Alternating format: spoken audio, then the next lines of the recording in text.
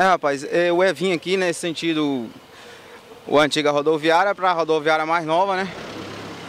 E aí, eu parei aqui no trevo na minha mão, sentido normal, comum, tem o procedimento que não faz totalmente todos os dias. E aí, quando eu olhei, não vinha carro nenhum, sem todo sentido eu olhei, né? A gente tem que ter uma visão muito grande lá.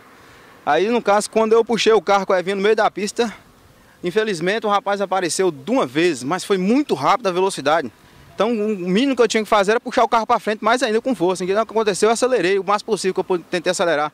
E ainda ele pegou ainda na roda traseira do ônibus, que nem você viu lá.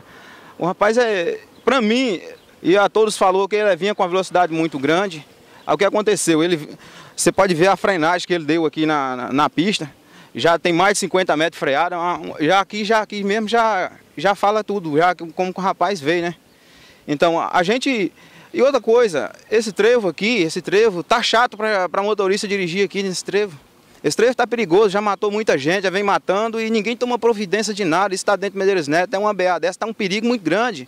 Só está matando gente. Se fosse uma moto, tinha morrido cara. Né? Um carro grande desse aí não, não, não, não chega a um acidente desse, não chega a arregaçar um ônibus desse. Se fosse uma carreta, se fosse um, um trem que nem passa assim, uma carreta aqui direto, uma coisa mais maior, né?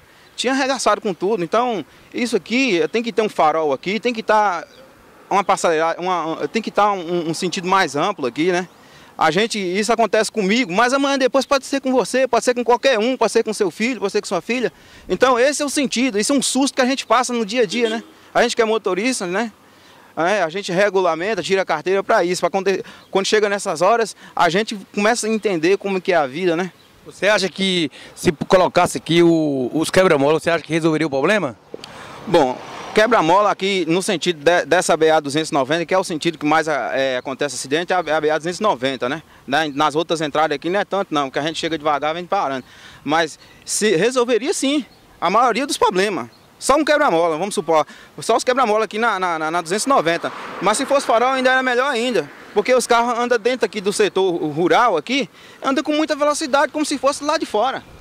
É por isso que o pessoal chama aqui o Trevo da Morte. É, esse nome aí já vem de muitos anos, viu? De muito, de muito tempo aí, ó. Um Trevo da Morte, tá aí.